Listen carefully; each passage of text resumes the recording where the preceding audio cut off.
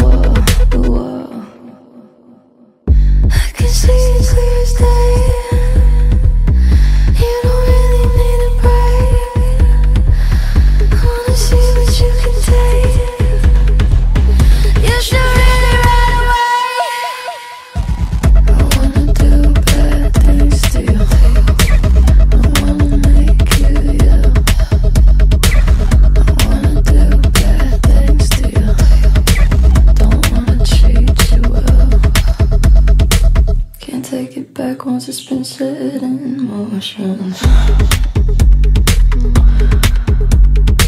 You know I need you for the oxytocin.